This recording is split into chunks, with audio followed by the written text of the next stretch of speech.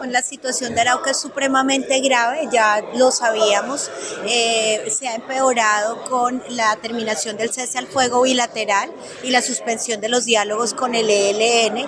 Eh, todas las, la mayoría de las personas aquí presentes eh, llamaron a la reanudación del cese al fuego, así como la reanudación de la mesa de diálogos, pero igualmente a la importancia de que los grupos armados, no solo el ELN, sino también las disidencias del Estado Mayor Central, se comprometan con el respeto de los derechos de la población.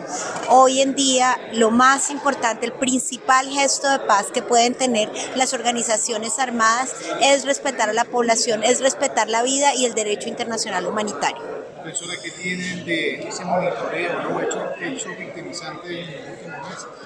Bueno, la situación de Arauca es muy grave porque es el, es el epicentro de la principal disputa entre el ELN y las disidencias del Estado Mayor Central al mando de, el, de, de, alias Mordisco. Eh, pero pues también obviamente la fuerza pública interviene en este conflicto armado eh, y esto ha generado una serie de hechos eh, que consisten en el desplazamiento forzado, los confinamientos, los homicidios, las desapariciones forzadas, porque hay muchos secuestros o llamadas retenciones que son privaciones arbitrarias de la libertad que eh, permanecen y las personas no son devueltas, no son liberadas y se desconoce su paradero, violencia de género, violencia contra líderes y lideresas, también eh, asesinatos de miembros de, de, firmantes de paz y desplazamientos de, forzados de ellos. En general, la situación es extremadamente grave. Defensora, algunos cambios eh, frente a lo que es su llegada a esta institución para marcar un poco la diferencia o cómo potenciar ese trabajo? Pues la idea es hacer seguimiento, es poder fortalecer el seguimiento de la mano del Ministerio del Interior a las recomendaciones del sistema de alertas tempranas.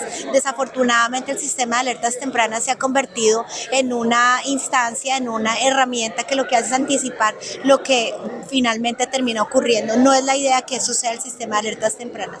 La idea es que las recomendaciones se cumplan y, y podamos impulsándolas prevenir la violencia. Segundo, el apoyo y el acompañamiento a los procesos de negociación. La paz es la solución a la violencia en Colombia, pero acompañado el respeto de las normas humanitarias y del derecho a la vida. Y tercero, la Defensoría del Pueblo va a promover que los actores armados a través de acciones humanitarias puedan respetar los derechos principalmente a la población civil, pero también bajar el nivel de las hostilidades que le está haciendo tanto daño a Arauca y al país.